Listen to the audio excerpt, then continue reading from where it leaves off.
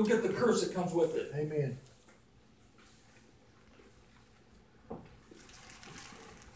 You let God be your source. You let this covenant promise work its work in you. You never worry about what people can give you, what people can take from you, what they have to offer. You serve God. Amen. Amen. And we're going to wrap it up with this.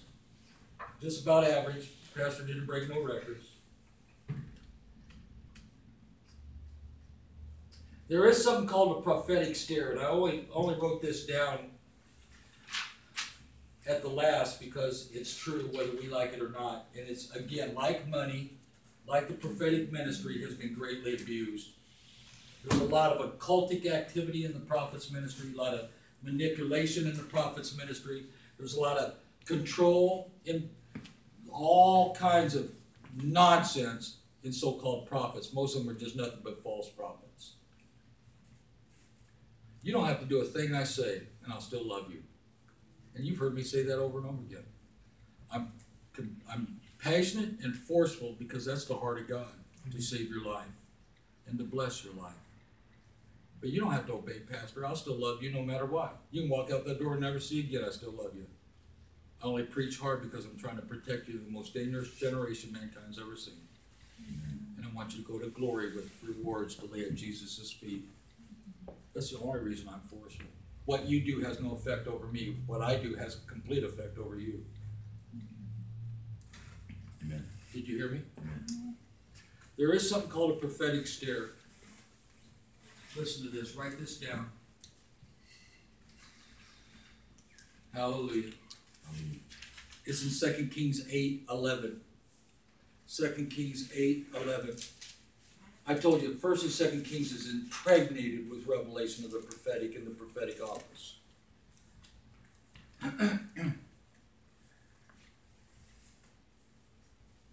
Hazael, the servant of the king, comes to Elisha, Elisha and says, "My, my, the king's ill. Know if he's going to re- regroup and, and, and live, be healed from this sickness." And Elisha said, "Go tell the king he shall surely live, but the truth is he's going to die."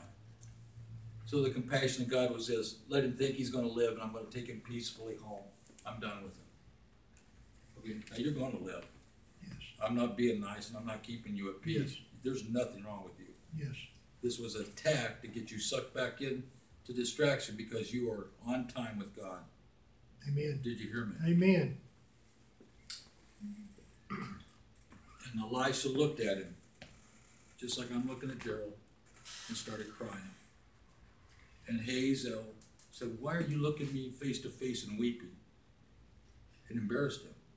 And he looked at him and said this Because when I look at you, I can see into the spirit the evil you're going to do.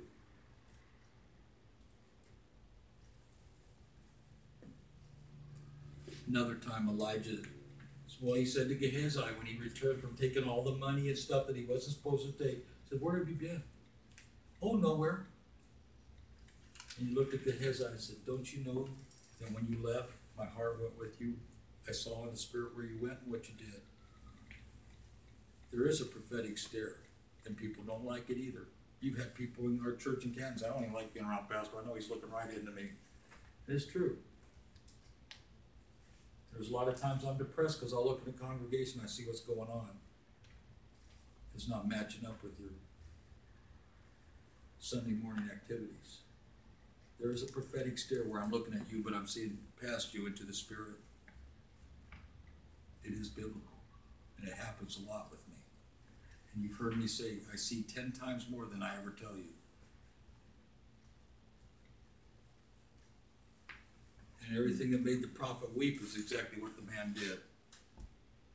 And I've stood up here when everybody says, I just want to come to church and have a good time. And I said, Thus saith the Lord, there's people that you love deeply that will be serving God in 2016.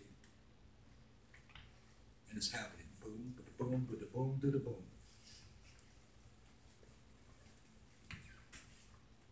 Amen. Now, a prophet cannot pastor.